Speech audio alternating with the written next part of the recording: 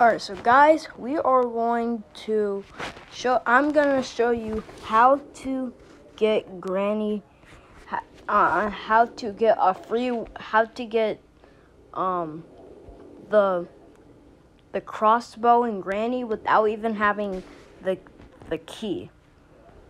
So, yeah. So I'm going to be showing you how you can do that.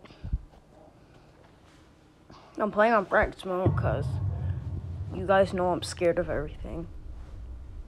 You guys probably didn't know that, but yeah. Alright, so. So the developer thinks he patched it. Actually, no, he didn't. I don't think he patched it yet. I don't even think he are. I don't even think he knew. Alright, so go to the weapon box. So you see this, you see that it takes away the crouch thing. But go like right here and then crouch up.